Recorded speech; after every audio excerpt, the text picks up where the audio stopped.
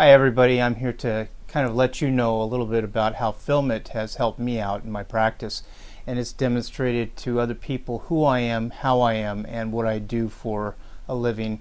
Many of you are either starting your practices or are already in practice. And uh, right now, you know, one of the things that we are all challenged to do, and that's to compete. Um, and FYLMIT does a great job of letting the people out there, the clients who are potential clients, know who we are in a very intimate way. It helps them to get to know us. It helps us to get to know them because by the time they get in here, they already have a connection with us. And FYLMIT really makes and brings that, that piece together. It really helps us to make that connection so much sooner, so much clearer, and so much uh, easier for the transition from, you know, having a problem, having an issue, and coming in to see somebody that they've never seen before.